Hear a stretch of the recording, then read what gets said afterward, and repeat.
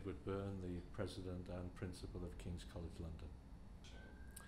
The well-being of our students is uh, central to everything we do. Uh, and that means not only that they get a great education here, but that they enjoy it uh, and that they are supported uh, emotionally and psychologically. Uh, in short, it's incredibly important to us that the mental health of our students is in good shape. Central to the vision is a great student experience.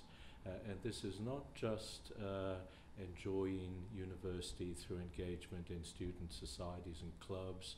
It's not just having a great education, uh, it's having a great sense of inner well-being uh, of physical and mental health, which of course complement each other.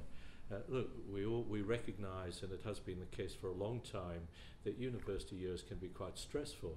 Uh, one has stressful study, uh, the economic pressures can be considerable, uh, one can be coming from a distant part of this country or even from another part of the world.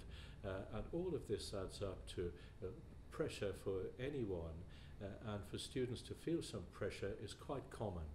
Uh, so we have to concentrate as an institution uh, on our students' mental well-being uh, as well uh, as the uh, effectiveness of their study programs.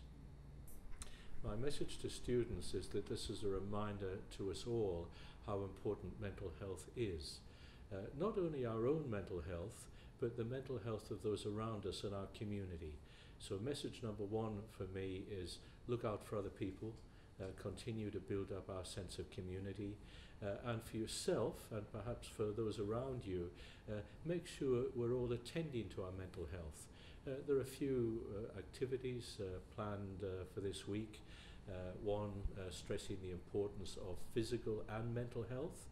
They often go together, but also some proactive sessions around mental well-being. uh, and I'd encourage, I'd encourage everyone both to take part and to encourage other students to do so.